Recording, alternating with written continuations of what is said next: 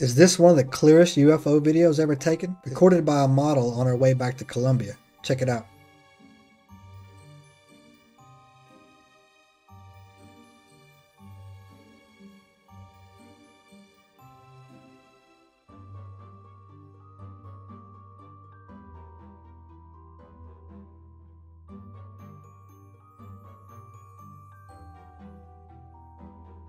I'm not gonna lie, that's a pretty good video.